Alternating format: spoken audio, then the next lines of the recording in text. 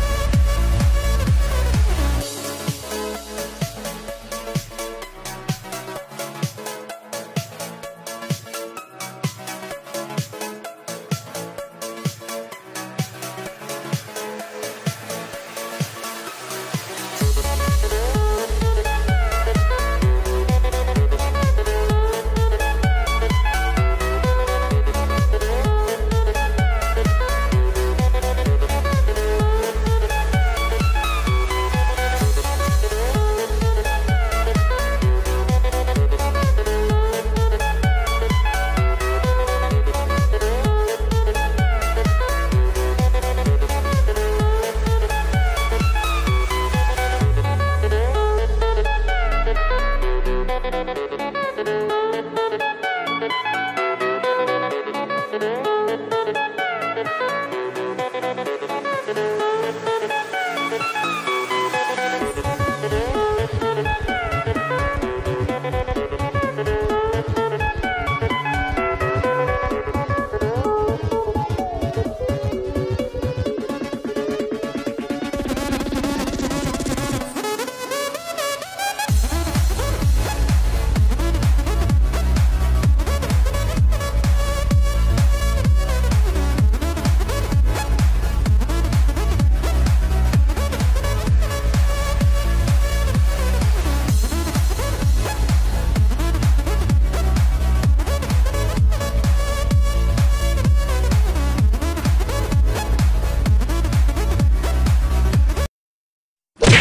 sa Upon Mercado.